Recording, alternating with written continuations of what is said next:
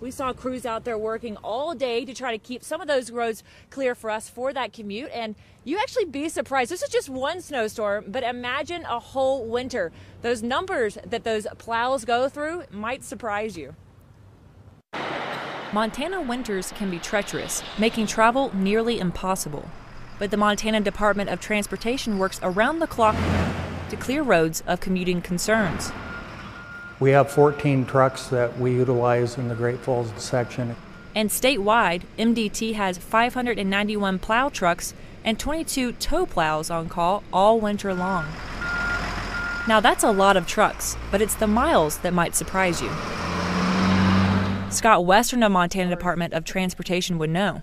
Yes, if it's a major statewide storm with all the plow trucks at MDT, um, and 24 hour period, yes, they encircle the earth twice for the amount of miles that are plowed. And that's just for one snowstorm. Each year, they maintain 25,000 miles of lane roads and plow about 4 million miles of highway, which is about 160 times around the world, or eight trips to the moon. We're busy, busy, busy.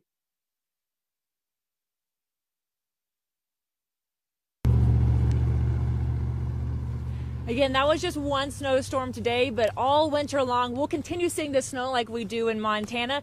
So expect those plows to be out. And they ask you to stay about five car lengths away to give them a little space to help clear those roads as we see more of that snow this winter.